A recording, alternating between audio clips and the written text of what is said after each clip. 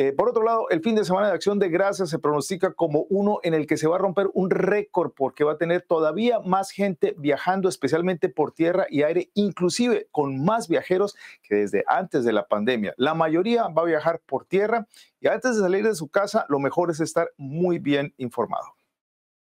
¿Qué hay que llevar en el coche? Hay que, hay que, es obligatorio andar con cadenas. ¿Cómo van a estar los pasos montañosos? ¿Cuáles son las horas de mayor tráfico, las horas de menor tráfico?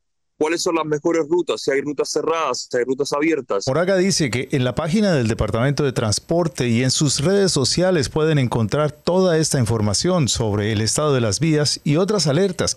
Ellos constantemente están actualizando el estado de las vías y las posibles interrupciones. Y desde el primero de noviembre hasta el primero de, de abril es obligatorio andar con cadenas en el coche. Esto, por supuesto, si su viaje incluye una porción por los pasos montañosos del estado para no arriesgarse a ser multados o peor aún, a quedarse atrapados en la nieve o accidentarse por el suelo demasiado resbaloso. Y si tiene usted algún problema mecánico, por favor hágase a un costado si es posible, prenda todas las luces que pueda. Si tiene triángulo, si tiene una chaqueta reflectante, póngasela para que sea de ese modo ser más visible a los otros eh, transeúntes y a los otros eh, conductores. La mejor recomendación que él nos da es salir temprano y muy bien preparados.